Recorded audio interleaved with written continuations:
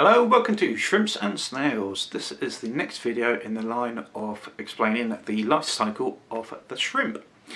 Now in this video we'll be going from uh, the juvies which I left off in the last video and basically going through adulthood um, and going through how they breed and their breeding process and then it'll end up on the babies being reborn. Uh, so basically a full life cycle of that.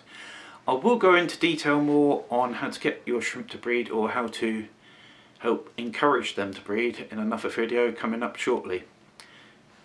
Right, so the first section is going to be them getting to sexual maturity. Now, with the females, it can happen anywhere between 6 months to 18 months, depending on the water parameters, the temperatures, um, and the odd shrimp sometimes takes ages, or sometimes will be ready pretty soon.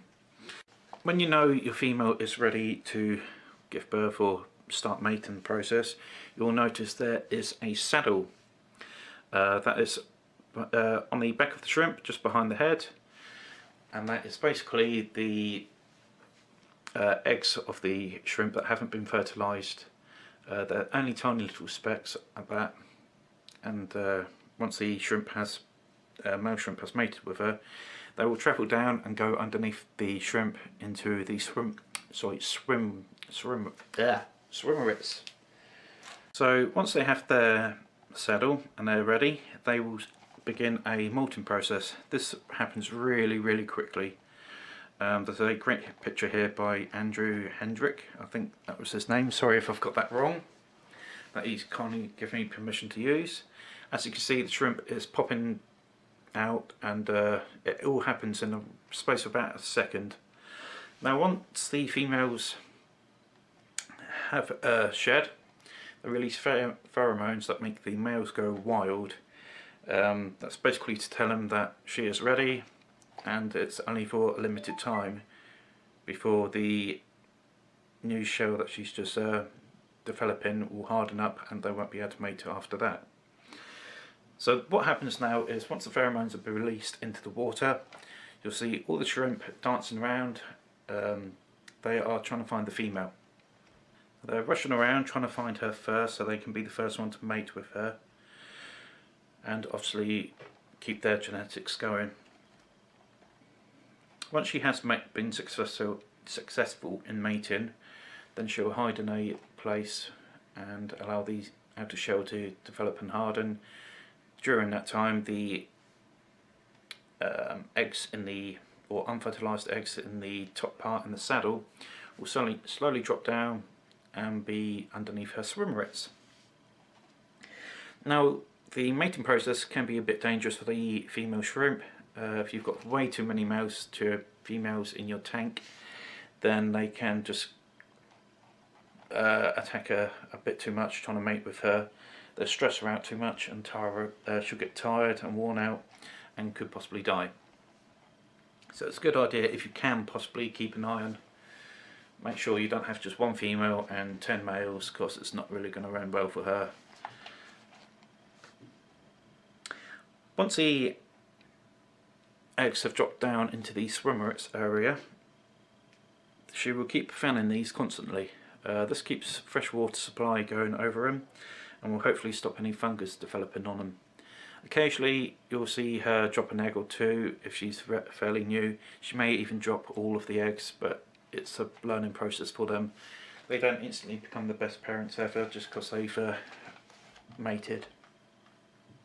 She'll keep the eggs underneath her for around about 30 to 35 days depending on a few factors. Um, obviously temperature has a factor and also uh, the type of shrimp you have Taiwan bees being a slower developer and actually uh, take a little while longer to hatch. Now there has been suggestions that the temperatures of the water can have an influence on if it's a male or female. I don't know at this stage if it's been 100% confirmed which way that swings but you have to keep an eye out in case you're putting your temperatures up too high and you may get a reduction of males or females.